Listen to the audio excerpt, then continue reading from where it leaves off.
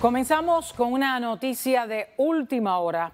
La policía de Jayalía arrestó al popular reggaetonero Yakarta, cuyo nombre real es Luis Javier Prieto Cedeño, acusado de robar en una vivienda desocupada. Yakarta fue arrestado este 31 de agosto después de que, según la policía de Jayalía, fuera grabado en una cámara de vigilancia robando un paquete de una casa en el oeste de esa ciudad y escapando con el mismo en una bicicleta.